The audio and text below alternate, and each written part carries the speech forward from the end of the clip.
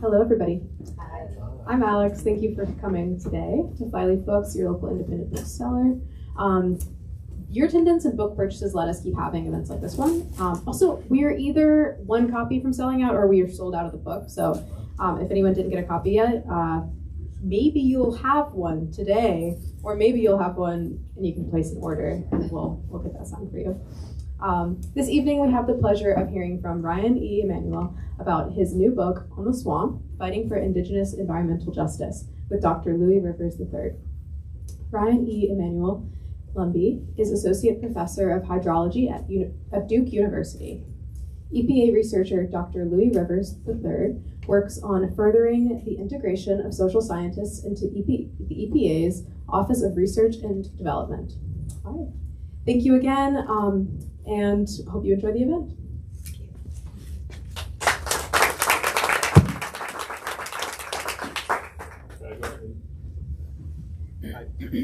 Okay, that's working. Uh, thank y'all for coming. I'm not going to talk a lot because we want to hear from Ryan. Um, I'll do a brief introduction and get things started. I was Ryan's uh, wall mate, or yeah. office mate. We, we, were next to each other in C State. And um, when I got there, Ryan was super welcoming. He was already there, and we became friends. I feel honored and privileged to know Ryan for the last eight, nine, four minutes. Um, he's an amazing scholar, but I think more importantly, he's a really kind and genuine human being. I think that comes through through the book, which is um, really a treat to read. It is uh, talks about the history of environmental justice in North Carolina, about his Lumbee roots. And it's also a story about Ryan. It's a story about North Carolina. It's a story about, you know, our fight for justice. So I think there's a lot in this book for everybody. So um, we'll go ahead and get things started. I was going to ask Ryan, can you tell us a little bit about how you got to this point, kind of like your um, your formative journey to get where you are now? Yeah, absolutely. Absolutely. maybe, maybe. The green light is on, but I don't think anything's coming out. It keeps cutting off here. I think this one works. Okay. Yeah. Okay. Thanks. Louie, thanks for that kind introduction. And thank you all for coming. I'm really excited to be here with you all this evening. Um, you know, I saved this for the end of the book, but I do say a little bit about my, my journey and how important specifically education was. Um, I grew up in uh, Charlotte Mecklenburg schools, so even though Robeson County is my home, um, it's always home. Um, my family lived in Charlotte, two hours away. So if you're familiar with sort of the south central part of North Carolina, Highway 74 was sort of like an umbilical cord for my family that kept us attached to Robeson County. And we would burn up that highway um, at least one weekend a month, traveling down to Robeson to visit my grandmother, aunts, uncles, cousins, um, everybody. And when I was in Charlotte, I was part of uh, an expatriate Lumbee community there. There's a large Native uh, community in Charlotte, mostly Lumbee, other tribal nations represented as well. Um, a few years before I was born, that community came together and um, petitioned to create um, a, a, program for um, uh, indigenous children who enrolled in public schools. And it was a newly offered program for the Department of Education called Indian Education. And it was meant to uh, meet the unique cultural and academic needs of uh, Native students who are growing up outside of their homelands um, and also students who were um, isolated in in school districts. So you know, my entire education, I was I was always the only Native student in in my class, and you know usually one of two or three or maybe a handful in the entire school. And so the thing that helped us create community um, was this program, and the rock of that program was a coordinator, Ms. Rosa Winfrey. So a long-time uh, Lumbee educator uh, who, after a long teaching career, became the the, um, the, the coordinator of this program. And so she would she would come around to our schools maybe once a year because she had a large circuit of schools that she had to visit. Uh, but Ms. Rosa would show up once a year and she would come into the classroom and she would give a presentation about indigenous peoples of North Carolina. And that was, I, I knew everything that she said. But, you know, in a way, it felt, for a child, it felt validating, right? To have um, someone in a position of authority come in and, and talk to your classmates about who you are, where you come from, and it's it was sort of the opposite of the kind of othering um, that that I experienced through school. So I came through school at a time when literally like the demographic data that we filled out all the time it said black, white, or other, and so like for probably the first five years of school, I was I was literally an other, and so Ms. Rosa you know came around and really helped to make sure that we were grounded in ways that complemented um, what we learned in our homes and in our families and our communities and help to extend that community into our schools. Um, and you know, she and many other educators and elders in my life, I think, really influenced my path and kind of led me to where I am today as an educator. Okay, I think this works. All right, yeah, thanks, Ryan. That that story, when I read it, it really struck me because I think a lot of people of color have that similar experience where you like you go through this primary education, you have this kind of history that's very much like a white-centered history, and like any you know Black History Month for me, like yeah, again, like I knew all this stuff, but like okay, we're gonna talk about Black History for a month, and like this is real for my other classmates. I'm not out here just making stuff up about my history. So like that story really resonate with me. And like I think a lot of things in this book are gonna resonate with a lot of readers. And I, I'm not sure if you wrote it that way, but I feel like you know it really resonates with a lot of people. Um, speaking of like your kind of educational journey, one of the things that um, I found interesting was this your kind of first encounter with land acknowledgments and like that whole process. And before we um, get there, that you kind of talk about that, I want to just do a brief reading from the book because there's like a, as the young people say, it's a bar. Um, whatever the intentions behind land acknowledgments, I am intrigued that otherwise well-educated listeners, especially university audiences, require continuous reminders that they occupy stolen land. Settler colonialism not only erases, it feeds on its own forgetfulness.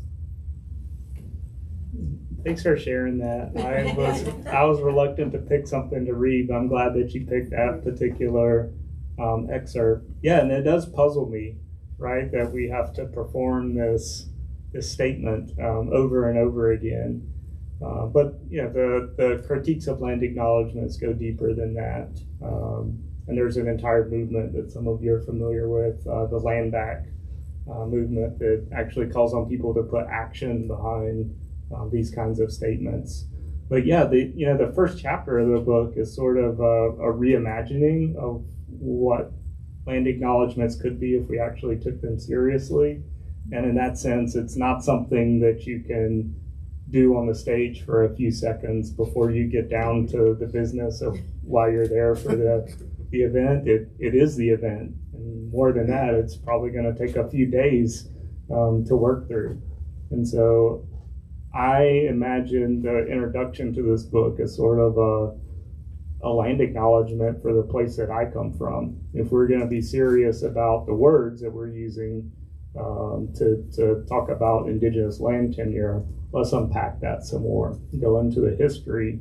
Um, and I know that a lot of that material is historical, but at the same time, it's still living memory um, for me and for my elders. Um, it's it's not really that long ago. Mm. Yeah, what you just something you said there struck a chord. This idea of like it's not that long ago because I think so often we.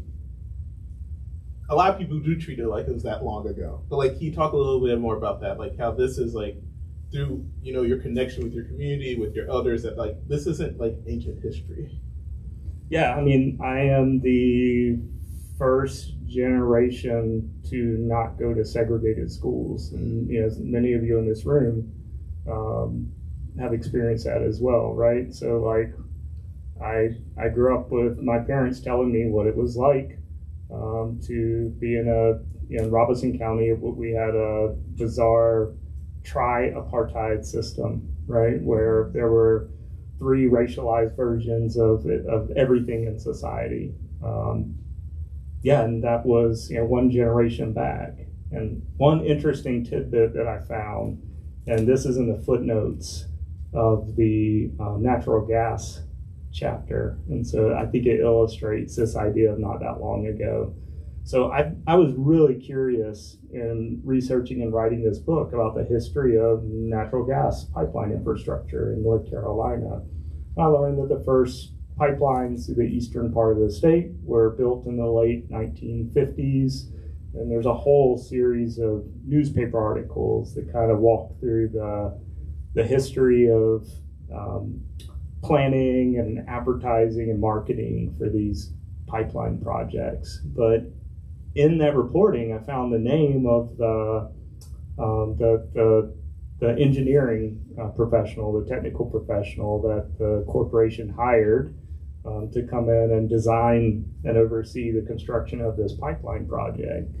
And uh, this guy had worked, interestingly, as a side note, he had worked on um, Cancer Alley.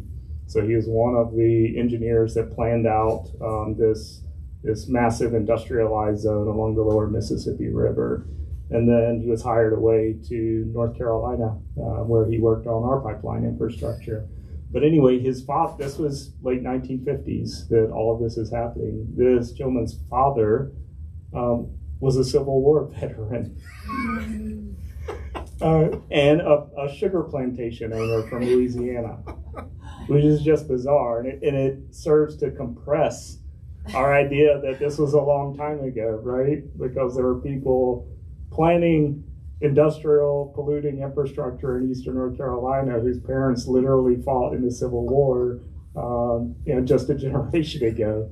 So yeah, it's literally not that long ago. And I think that's important when you think about things like environmental justice because so many of the patterns that we see today, and you know this better than I do, are are the result of decisions that were made in decades past, and we have to live with the legacy of those decisions um, right here in the 2020s. Yeah, um, I mean, this compression of history or like this kind of ahistorical way of thinking about the environment, it really does serve the exploitation of people in the environment. Like if we can make it, if we can create these disconnects between our history, it makes these makes it much easier to exploit what's going on. I think that was one of the things that drove me to a historical analysis in the first place. Because when in the in the first years of working on environmental justice as a scholar, when you and I were first getting to know each other, um, I was really frustrated by what I heard from people who were developing, in this case, the failed Atlantic Coast Pipeline. When you ask why why are you putting the infrastructure in this particular place, and that particular place was the Lumbee Community of Prospect and the only answer is because this is where our other stuff is, full stop. And that was an acceptable answer apparently in the in the regulatory world. And nobody nobody peeks behind that to see, well, why is your stuff here in the first place? Yeah, this is like just talking to Ryan over lunch or something because there's so many tangents I'm thinking about. Like, um, in this regulatory world where you're talking about, not only is it like you know, we kind of don't think about history, but there's no place for like culture. And there, like, we, you talk a little bit about like how does history or how does culture come into this regulatory process or doesn't come into the regulatory process?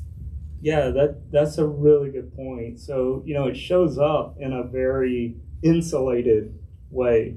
And the example I'll give you is um, environmental impact statements. These are long regulatory documents. It could be hundreds or thousands of pages long, right? That, that's the it's the official technical record of um, all of the potential impacts and and ostensibly all the externalities that are associated um, with a particular project, right? And that's the document that the regulators use to, to decide whether or not to authorize something.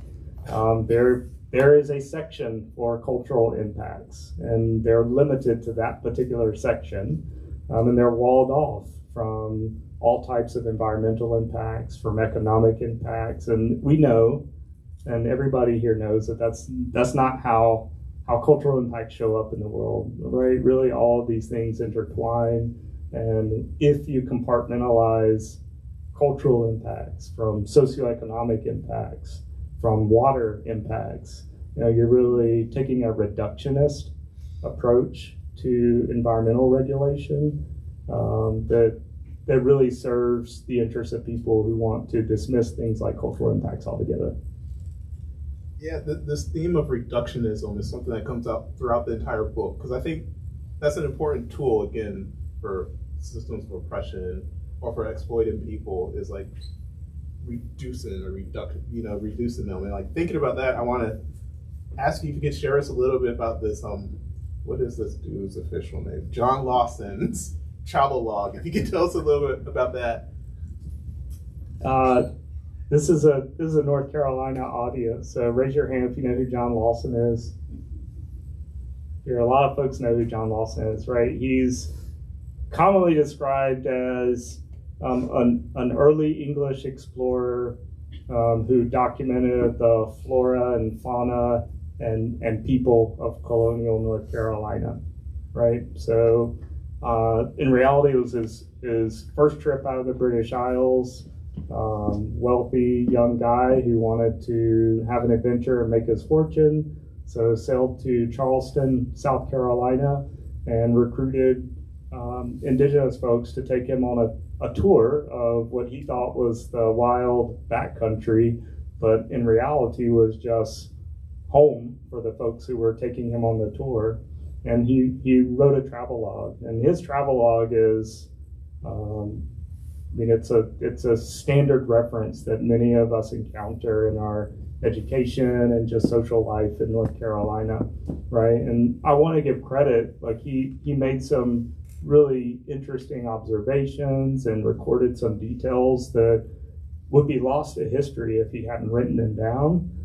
But his writings are also infused with um, tremendous racism and ideas of extraction, extractivism. How do we exploit this land? Um, how do we enslave and exploit the people who live here? Um, that, that's what his eye was for. And so, despite all these really great observations that he made, you also have to filter through um, what you know is coming. And so he's really the, the, the vanguard um, of, of the, the colonial exploitation of what's now North Carolina. Yeah, so I, I find it really frustrating that, you know, here we have some, some kind of cool observations. He, he tells some really interesting stories about um, uh, uh, indigenous ceremonies in eastern North Carolina at the, at the opening of the 18th century. And there are amazing stories about uh, the supernatural world. And then he stops and says, Dear reader, I'm sorry that you have to suffer through this. I'm only telling you this so you can get an idea of the utter ridiculous things that these people believe. And so everything is tempered um, through yeah through through his lens. Yeah, I mean that really resonated with me. That's one of the parts that resonated with me. And like originally, you know, I was gonna originally made me think about like this is a really a critique of like I think a lot of time like the history of black people in the United States has been told through like this white lens and this othering lens and like I would love to hear about like just day to day interactions of people, but like you don't hear that. You hear like you know about the worst parts of history or very like you know bastardized parts of the history. But I think also in your book, to bring it a little bit closer to home, I think it could be a critique of what we sometimes do in the social sciences. Like when we go into communities and like we claim to be, you know, unbiased observers and we do like this observational research, which is like kind of a cornerstone of a lot of social sciences. But like as I get older, I realize it's incredibly problematic to think about it, it that the story of Lawson just crystallized that for me. So like, uh, like, do you ever think about? I mean, you're great at doing interdisciplinary collaborations, but do you ever think about like, you know, some you ever look at like some of the trends in other disciplines? You're like, I don't think you should be doing that, or like, I don't want to put you on the spot. yes. So here, here's what I'm thinking. Like, yes, I love interdisciplinary work, but I also want to be very cautious about leveling criticisms um, far afield from where I'm trained because. Yeah. You know, I always worry that I'm I'm reading the room wrong and you and I have had these conversations where I have to ask you, is this really the way it is? and more often than not, you will say, yes, this is the way the way that it is. Um, but I'm not. When it comes down to, it, I'm not an anthropologist. I'm not a sociologist, mm-hmm. um, and it's it would probably be unfair for me to level level critiques at those fields. But I mean, the way that you describe um, those methods and that type of work, um, yeah, I mean, it does remind me of the things that I've seen in Lawson's writing and in other other colonial um, figures who came before and after him. Yeah, this critique is not come from Ryan, it's my critique. I will say I don't like anthropology. So that is my critique. No offense to anyone in the audience. So I don't want to put those words in Ryan's mouth. My wife is shaking her head. like, this is every day with my husband. um, building on this idea of like, because I think you're right. I like how you say that like Lawson kind of sets a template yeah. for like exploitation, but just like what we even see today when we talk about indigenous people in the United States is like this really kind of like homogeneous, kind of mythic but reductionist approach. Can you talk about like um, there's a part in this book where you talk about the Lumbee Act, which I found fascinating, which is kind of like a door opening into like the heterogeneity and indigenous folks and like just adding complexity, you know, complexity to how we think about indigenous people in the U.S. Yeah, and the reality is that we flatten the mm-hmm. stories of indigenous peoples like we flatten so many complicated stories, right? And the Lumbee Act is a really great example of that. Like one of the one of the ways that we flatten indigenous stories is to say, oh, we can put everybody into a couple of different bins. You've got federally recognized tribes and non-federally recognized tribes. And the Lumbee Act flies in the face of that. So, for those of you that don't know, in 1956, um, Congress passed um, a, bill that recognized Lumbee people as um, as American Indians, and then the exact same bill uh, prohibited us from having a government-to-government relationship with the United States. And so, as a result, um, Lumbees are usually treated as non-federally recognized um, indigenous people for the purposes of um, most legal statutes. So, for example, the um, Native American Graves Protection and Repatriation Act. Um, we're excluded from that. We're excluded from the National Historic Preservation Act, which is the law that requires consultation with tribal nations prior to um, uh, environmental permitting and things like the Dakota Access Pipeline, um, the legal challenges around that centered on Section 106 of the National Historic Preservation Act, right? And so at the same time, we get to participate in federally funded programs like Indian education, right? And there are other venues where um, we, we do look more like federally recognized American Indians. And so just our story alone is sort of the, the example that, that blows up that, that simplified dichotomy. Um, I see Danielle shaking her head because she is our, our expert on, on these kinds of policies, right? Um, yeah, but our story is a complicated one, but the point is it's not the only complicated one, right? You have lots of tribal communities um, whose, um, whose situations are singularly unique in the way that you know, perhaps our, our legal standing is singularly unique. And then North Carolina is extra special because we have indigenous groups that have no recognition status whatsoever, right? And sometimes we even find ourselves engaging in, in lateral violence um, with, with those communities. And so it's a, it's a really um, complicated situation to say the least. And we don't do it justice in our in our public discourse. And so one of the things I wanted to accomplish with this book was to show the complexity of these issues for North Carolina, because if I can demonstrate it here in this one small area that I come from, imagine how complicated it is for the rest of the United States or for indigenous peoples globally. Uh, that's my son being loud. Sorry about that. Um, uh, and that kind of builds on like it's like one of those another legacy of colonialism that comes out. So like you know, I'm, I'm, it's a really well written book. You will enjoy reading the book. But like that's another theme that kind of goes throughout this book. Is just like this subtle legacy, or not so subtle legacy of colonialism coming through the book. So like, I didn't pre-game this with you before. Sorry, but like you know, like so you're trained as like a hydrologist, and this is like no offense to hydrology, but this is way more interesting than anything you would expect to read from like a hydrologist. So like, I, am amazed at like the scholar that you are. You know, like it's so rare to find someone who has like, like he's a hydrologist, but like he's like a hydrologist rock star. you know, he's like good at doing hydrology, but also like you're good at history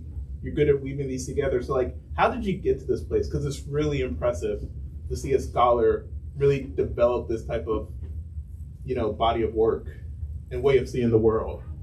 Well, thanks for that, Louie. But I'm I'm gonna push back a little bit and say that I might be fairly representative of indigenous scholars and mm. other minoritized scholars because not only the reality is not only do we have to be experts in what we're supposed to be experts at and what we're trained to be experts at, but we also have to be trained in history and law and public policy and all of these other areas because we have to be ready at a moment's notice to pull out a, a lecture to justify our existence um, or to clarify some misconception or myth um, and all of that has to happen before we can actually talk about whatever the business was we were there to talk about in the first place.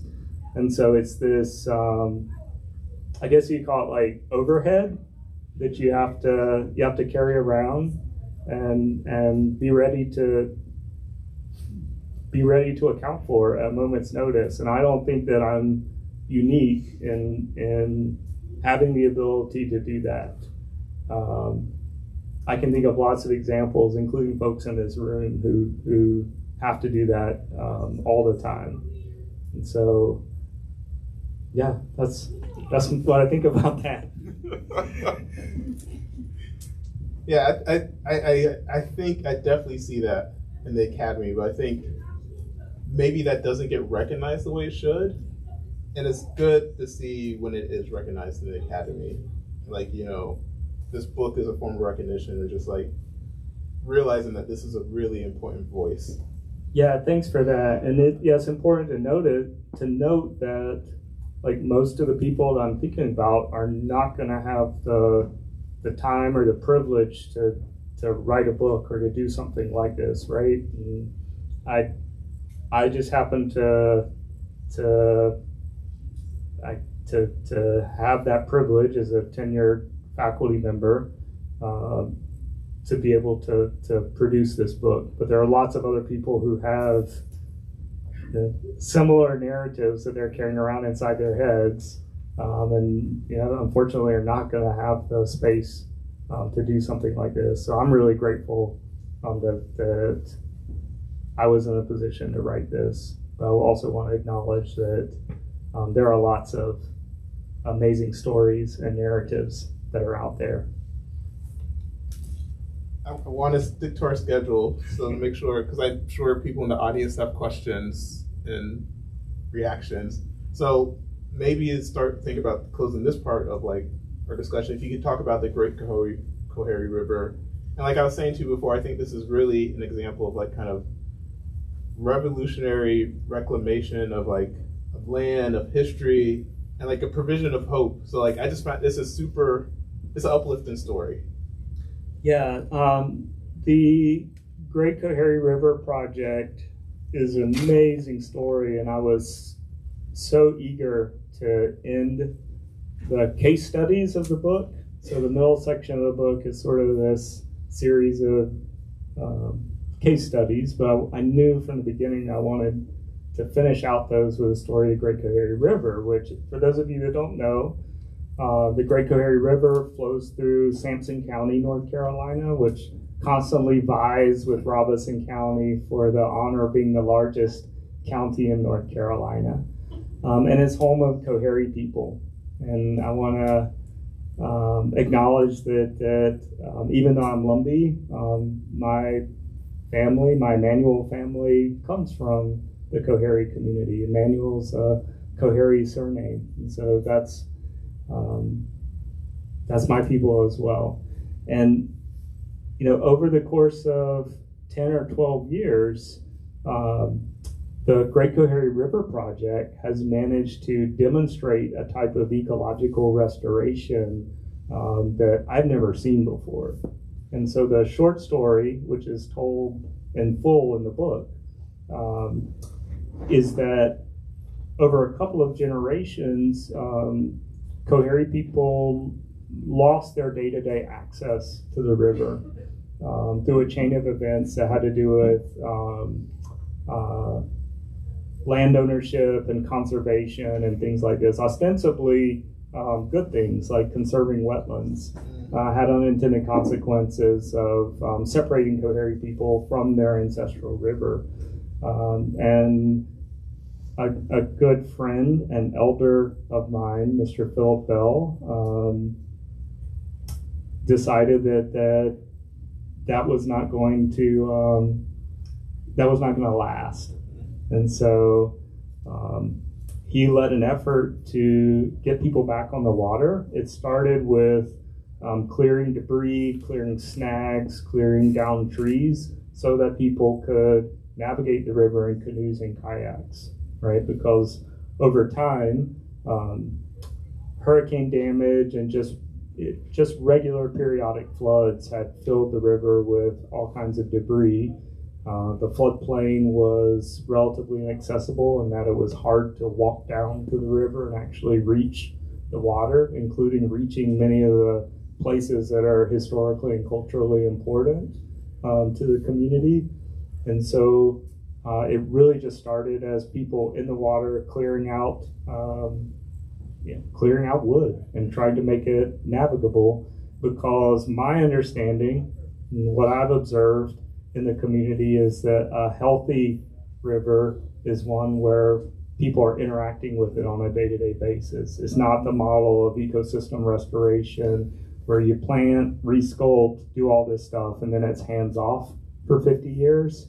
That's not the model that I observed um, in the Coharie community. It was we need to be on this river and know, we need to be on it as a community um, and it needs to be on a regular basis. And so um, another friend and elder, Mr. Greg Jacobs, always says that for generations the river took care of us and now we need to take care of the river. And what he meant by that was uh, similar to the Lumbee experience during Jim Crow segregation um, when Coharie people were excluded from all aspects of, um, of social life in Sampson County. The river was a place for recreation, um, a place for community gatherings. Um, and so it really took care of the community and, and nurtured generations of Coharie people, right? It was a source of food, uh, source of solace. And so taking care of the river involves um, making sure that people are back on the river and appreciating it um, as a as a, a, a, beautiful, amazing blackwater stream, but also as a place that is extremely important um, to the history and the present day culture of Coharie people. And today, that that river cleanup effort has evolved, and now hundred more than hundred miles of river have been cleaned out in Sampson County um, the tribe has an ecotourism business that is is booked to way out with taking people down the river um, and giving them a, a culturally informed experience um, on the water, and it's just amazing. And so that is uh, that is a project that started out, um, you know, with no funding, no authorization from any authorities, right? Um, but now, if you you can go out and look at um, in North Carolina conservation websites and organizations, and this project is it's like the, the darling of all of these uh, uh, conservation groups in the region, right? But they it didn't start out that way. Um, but I think people are coming around to seeing how powerful a model this is of restoring an ecosystem. And really, what they're doing is they're not just interested in ecological restoration, they're interested in restoring the relationship between people and the river. And I think that's what restoration means in this particular case. Yeah, um, I know that said to be that that would be the last thing, but can you follow up a little bit more on this idea of like, and you alluded to this in the story, this idea of like, um, obviously John Muir versus Pinchot, but that's not even right. But like this idea of like conservation, where we see like nature as this kind of pristine, untouched area versus like this really seeing nature and humans as like something that we're oh yeah yeah so the myth of wilderness right and we we observe this myth in the way that we curate national parks and wilderness areas right but the north american continent is is is not not a wilderness um, to the, the first peoples of this place right in fact there's uh, many examples of of hard work that people did to um, to create the kind of landscapes that that um, settlers observed when they got here, right? And here in this region, it was it was fire. Indigenous peoples burned um, extensively in order to have the kinds of um, forest land that that um, that we thought was appropriate for uh, fostering wildlife, edible uh, plants, um, travel, things like this. Like I, I look out the forest in my neighborhood every day, and I wave my hands and I imagine just burning all the under, undergrowth. I want to bring fire back, right? But the you know the idea that that there's a pristine wilderness that's untouched by humans is a that's a colonial myth, mm. right? And it's it's on display in North Carolina still. And I think in the introduction or even the preface of the book, there's a quote from the the guy who was president of Wake Forest College in the 19th century that waxes poetic about how North Carolina is this amazing place because there's no evidence that any people were here before settlers and he yeah he goes on and gives it's a graduation speech from the uh, from from the mid 1800s at Wake Forest, and of course this is the um, um, this is this is the peak of Manifest Destiny. Mm. Um, so he's just he's just echoing the spirit of that time, but that was the first time I had encountered a North Carolina flavored Manifest Destiny, and so that's why I included it because the whole book is intended to be sort of North Carolina flavored take on the good and the bad um, of our experience here. Well, thank you. I want to respect, you know, provide time for the audience with our last 20 minutes to answer questions. But thank you for asking me to do this. I got the email from Ryan. Up. I felt incredibly honored.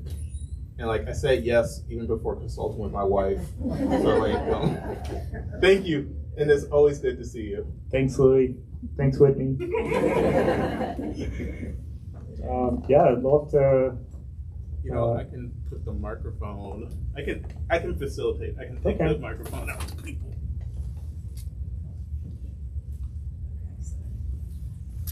And it's already on. Well, I grew up one mile from we call it the Lumbee River, but the lumber part is interesting to me because it is also called the Lumber River. And I remember as a very small child, like maybe age four, seeing these barges come down one of the landings with this lumber on it. So, could you kind of talk about the difference in the Lumber River and the Lumbee Yeah. River. So first of all, to clarify, it is the same river, right?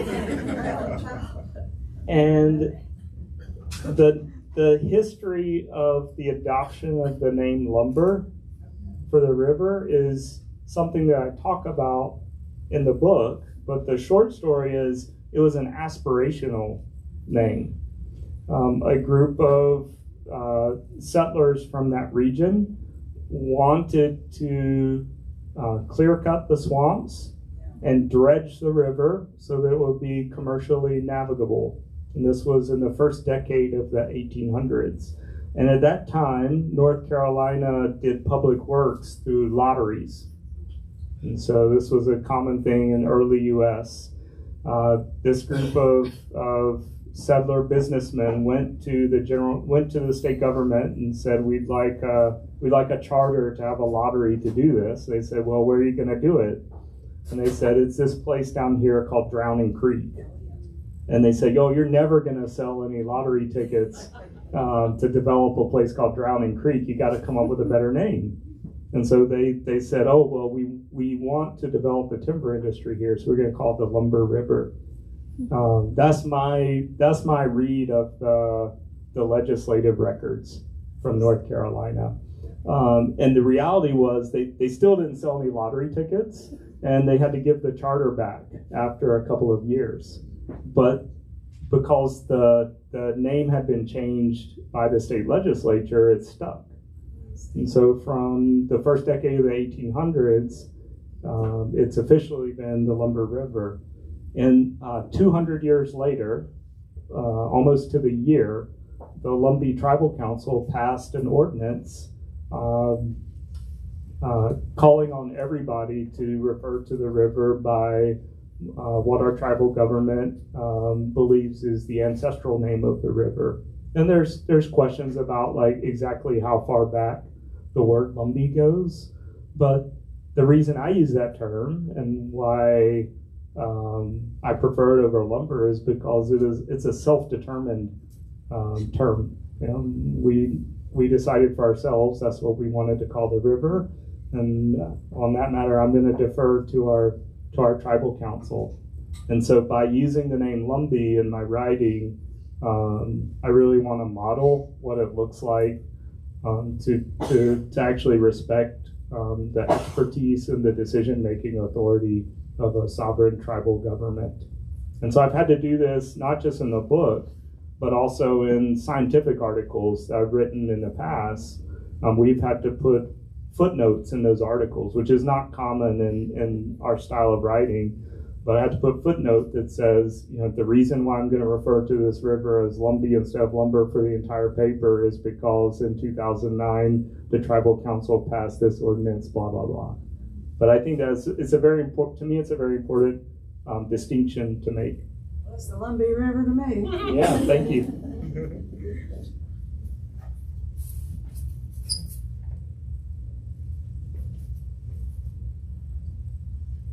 Is that the cover? Is that the Lumbee River? That is the Lumbee River. Yeah, and that's uh that's a cell phone uh, photo that I took um, in my canoe, and the people at UNC Press um, made it look amazing.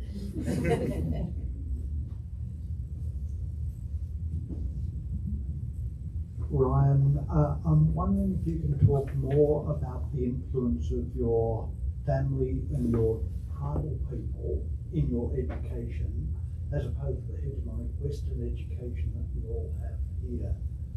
Um, and talk a little bit more about the importance of land and being part of the land rather than having dominion over it. Yeah, thanks for that. I will say I will start by saying it's complicated um, because you know, in many ways, like Lumbee people replicate systems of education that exist um, in mainstream society, and there I think that there there are some good aspects of that. There are also some harmful aspects of that. In the Lumbee community, in particular, um, we we create educators and we have a long history of training um, K 12 teachers as well as higher education instructors. And I, I believe if you were to go out and do a survey um, of indigenous educators in the United States, Lumbees might have a disproportionately large share of that group. And it stems from, from our history dealing with the state of North Carolina um, and, and trying to secure, basically secure rights through um, educational independence. But that legacy um, has led to a situation now where there are there are great many Lumbee teachers and even um, university faculty in a relative sense. Having said that, um, I do feel like I did get two educations, right? One of them was the schools that I attended in Charlotte, and my other education was having to go around all around Robeson County uh, with my parents and sit quietly while the grown-ups talked. And you know, this is this is not exclusively an indigenous um, um, phenomenon, right? Many of us might have grown up um, in environments where you had to sit on the carpet or sit on the rug and, and listen to the grown-ups talk and and you, you you weren't supposed to, to interact. But in doing so, you know, you absorb the stories and you understand what the lived experiences were like um, for the generations that came before you. And in my case, many of those stories were about what it was like to spend time on the river, what it was like to spend time in the fields, right? Because we're also agricultural people. Um, you know, what it was like to experience segregation firsthand and all of these other things. So I think I, I am grateful to my parents for making me do that, although the young Ryan uh, was, was very antsy.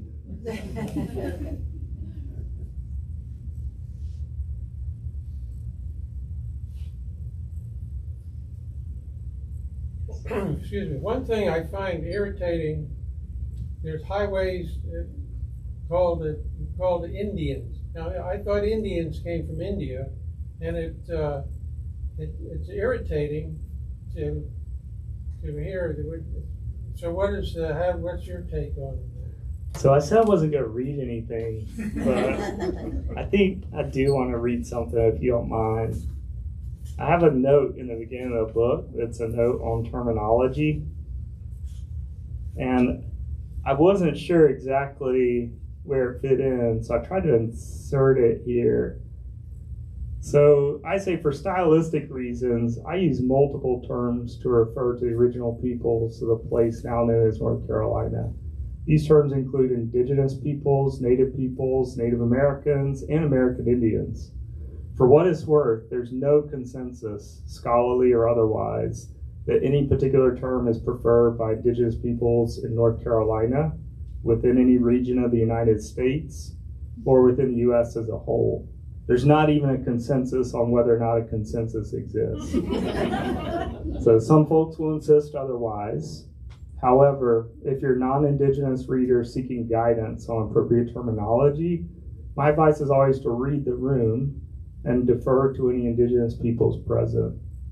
And if you're in a room where discussions of indigenous peoples are happening, but no indigenous peoples are present, ask yourself why that is. But the, I think the the short answer is that it, it can be generational, and so it is an appropriate term um, to some folks, um, but other people might find that offensive. And the in the end, it's complicated, right? Because some people have have grown up with that term and they embrace it. I, I, I did a disservice because I didn't give you a chance to talk about this uh, this concept, this idea of indigenous environmental justice. So, like, if you want to talk a little bit about this idea, which is you know throughout the whole book, but I didn't give you a chance to really discuss it in our previous conversation.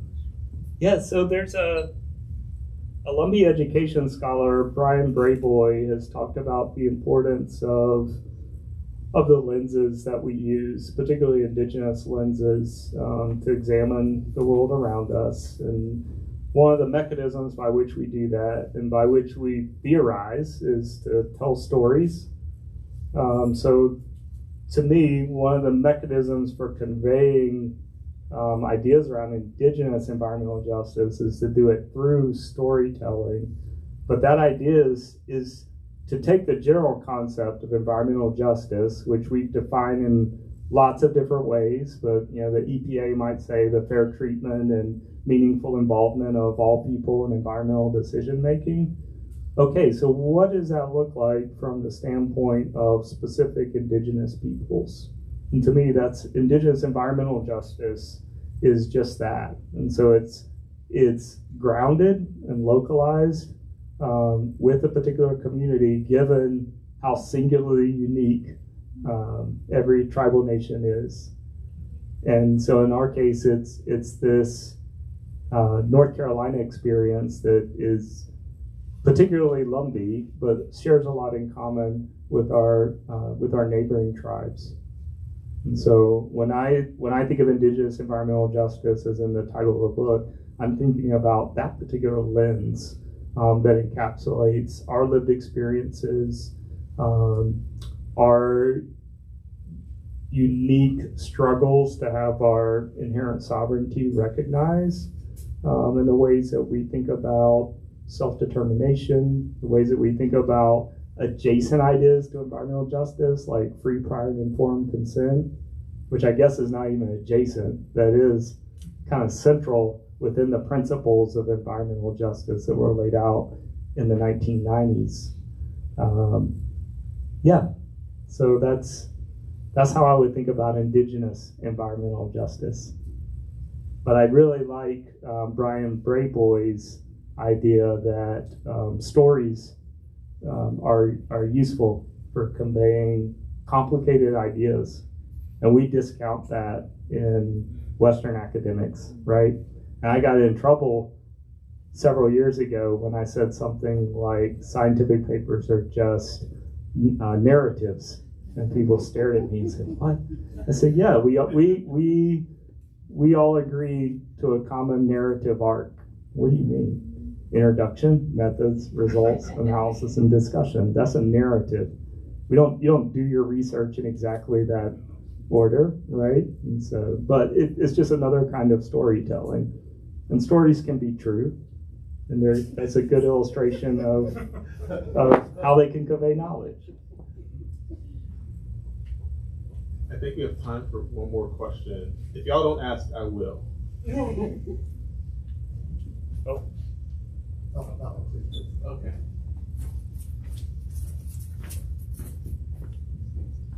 I'm curious about the Lumbee language, the language that you and your parents and grandparents spoke, and then historically what was spoken uh, by your ancestors. Yeah, thanks for that. So, for at least 300 years, we've spoken English, and I have a, a what I think is a really funny story um, in the book about um, an indigenous man in eastern North Carolina in 1703 who cussed out a settler. Um, and then when the settler said he was going to tell the magistrate about it, he said, Well, you can tell the magistrate to kiss my arse. this was all in English, right? So we've been speaking English for a very long time. We've been cussing people out in English for a long time. Uh, you know, Lumbee's developed uh, uh, unique dialect of English in that time period because we are um, an amalgamation of colonial era indigenous peoples. Our ancestors spoke um, several different languages uh, uh, Tuscarora, some of the Carolina Algonquian um, languages along the coast. Um, because of the violent upheavals that followed that that period in the early, very early 1700s, um, our societies were, were wrecked during that period. Um, displaced, refugees, um, orphaned, um, and as a result, the, the people who came together in places like Robeson County um, adopted the language that everybody around them was speaking, which was English. And so that is why for centuries um, we spoke in English. And you know, one of the I mean, to me personally, like one of the greatest tragedies is not having the continuity of our language that many indigenous peoples have. But I will say that many people who still have their languages do not have the length of exposure to colonialism that we have had. Um, and it, you know, it's it is a that is a gnawing issue in our communities, even as language revitalization efforts um, are taking place. Um, just the fact that there's a discontinuity there, um, I think, is really traumatic. So thanks for that. Thank you.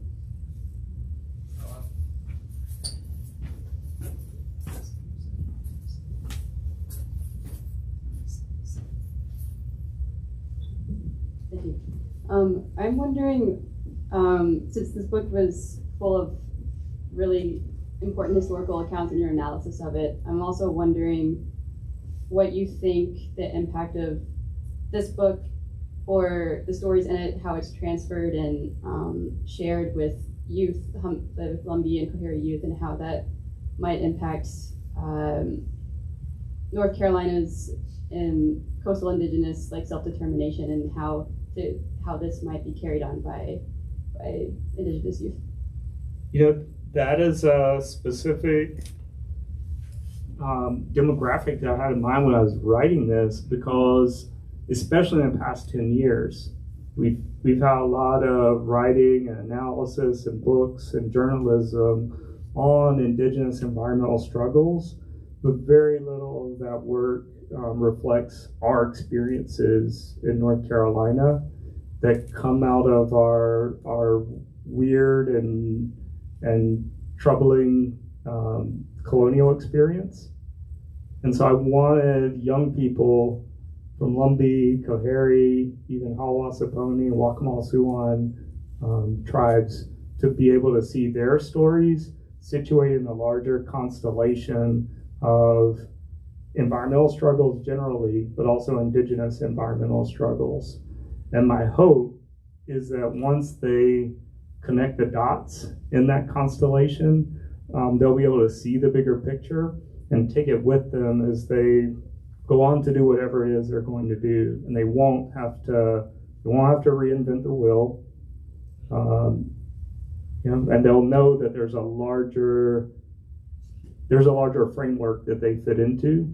Troubling as that framework is, um, that they're not alone in the struggles that, that their communities have.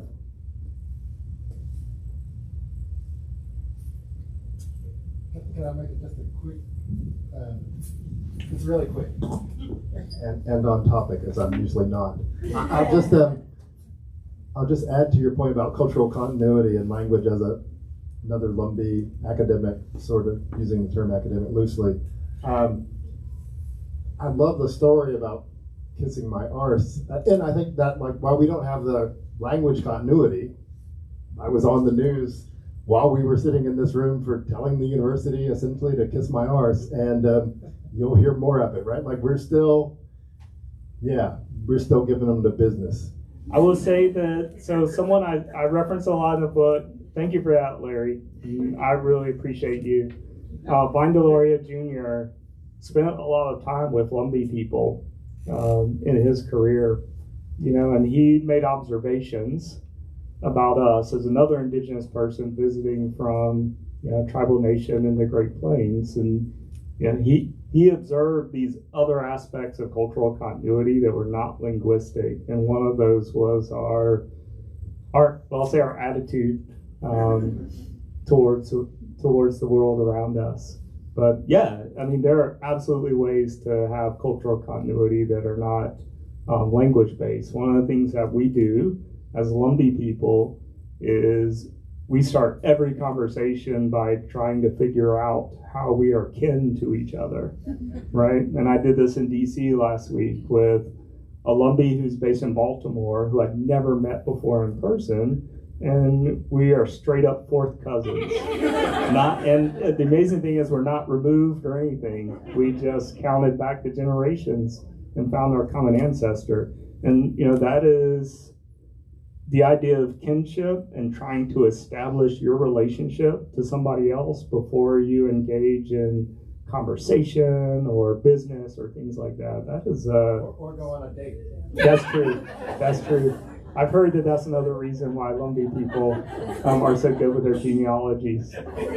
Um, yeah, but that that is uh, that is an indigenous trait, and it's something that we've carried with us despite the loss of our some of our original languages. So thanks for that. I know we're at the end, but that makes me think about Lumbees have a special place in the environmental justice movement also. And it seems like that con- cultural continuity has made you incredible allies for other oppressed peoples. Like, you briefly speak on that? Because I think that's really an important part of this history here, especially in North Carolina. Yeah, so you know, I'll, I'll point out a couple of things. Um, we have Lumbee representation at the um, the People of Color Environmental Leadership Summit that sketched out the 17 principles of environmental justice in the 1990s that led to the current federal policy on environmental justice. Like we had a Lumbee person at the table representing indigenous peoples. Um, we also had an amazing um, multicultural movement in the early 1980s that resulted in the EPA suing North Carolina over stringent environmental regulations. This was over a, um, a waste disposal plant that was proposed um, within the Lumbee watershed and would have discharged uh, wastewater into the river. And uh, Lumbee people, black people, white people came together um, and they not only protested that movement, um, grandmothers brought mason jars of Lumbee River water to the General Assembly in Raleigh and set them down in front of lawmakers and said, you know, this is our water. It was a water is life moment decades ago. Someone brought me a jar recently. One of those jars, so they're still around, right? And this was in the early 1980s, just a couple of years after the birth of the environmental justice movement in Warren County. Um, but as a result, North Carolina passed stringent regulations that frightened the federal government because they said if other states adopt similar regulations, there will be nowhere to dispose of our toxic waste.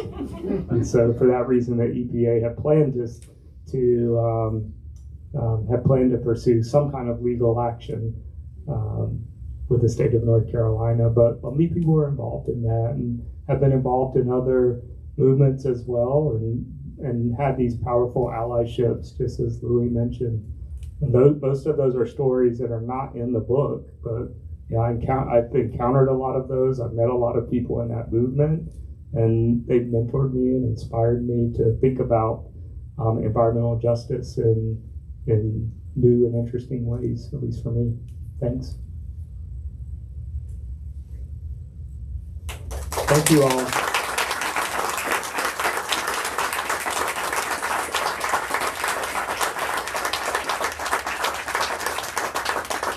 And that's everything. if anyone didn't get their book signed, though, I'm sure that Ryan Yeah, would be happy, happy to. to do that. Thank you. Thank you. Really Really?